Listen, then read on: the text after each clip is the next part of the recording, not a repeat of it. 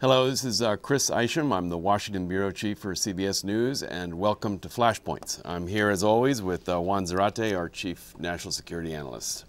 Hi, Chris. So, Juan, let's uh, let's start with uh, uh, Syria and the regime of Bashar al-Assad, who's hung in, who's uh, conducted a brutal campaign against his own people uh, and has managed to hold on to power. But recently he's suffered some setbacks, uh, both on the, in the battlefield, both up in the north, around the city of Idlib, mm -hmm. and in the south. Uh, is Assad in trouble?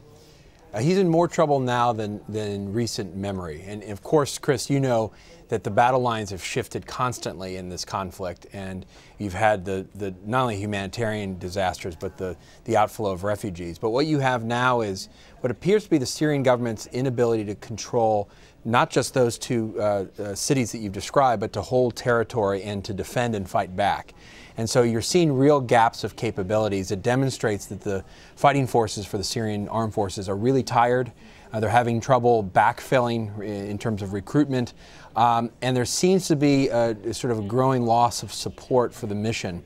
And part of this is just fatigue. They've been fighting a long time. They've been fighting on several fronts. They have the Islamic State, they have Jabhat al Nusra, the, the Free Syrian Army, uh, and they've been trying to attack, to your point, with brutal methods. Uh, and they still haven't broken the back of the opposition. And that, I think, is morally de demoralizing, and they're having physical trouble holding territory. And they've also there have also been some signs of internal stress within the regime. I believe there's some a number of intelligence chiefs have uh, have been fired, and in one case, uh, I think has even been assassinated. That's right, and I think the, these are the fissures in the regime that you want to see, uh, especially given the fact that the regime has relied on the Alawite community as the baseline for their support. And so what you've seen is the cracks in that support. The the intelligence chiefs, a lot of suspicion within the regime itself as to who's doing what, and if, if uh, folks are leaving, for example, uh, one of one of the president's relatives has left the country, and so these are signs that I think demonstrate a bit of weakness and instability in the regime that you haven't seen as much in, in recent months. Of course, uh, Iran is a big supporter of, of the regime of Assad, as, as is Russia. Any signs that their, their support is weakening at all?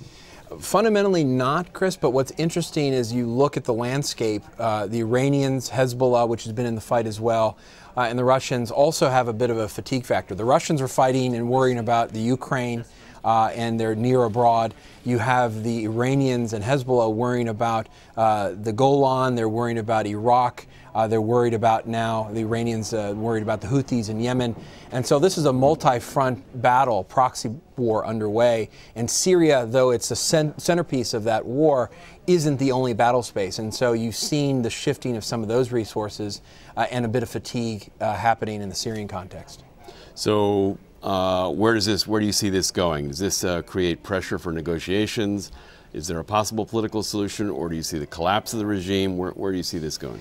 Well, this is a really interesting moment because I think the, the U.S. government has always hoped that there would be enough of a shift of the battle space to force Assad to negotiate an end to this, that there would be a political resolution. Uh, I think there's also a fear that there would be sort of imminent collapse because there's a great fear as to what comes next. Uh, is this replaced uh, by the Islamic State? Is, is, it replaced by marauding Islamic fighters? Um, and so I think the, the, the, question here is do we see other markers in the system, other signs that there's weakening control, in particular, for example, in Damascus? by the regime. And if that's the case, then you do potentially have a diplomatic off ramp in a moment. Uh, or if this happens quickly, which can often happen, uh, we could be facing a real crisis of a regime collapse amid civil war worth monitoring. We've got to watch it. Thank you, Juan. Thanks, Chris. And that's it for Flashpoints. We'll see you next time.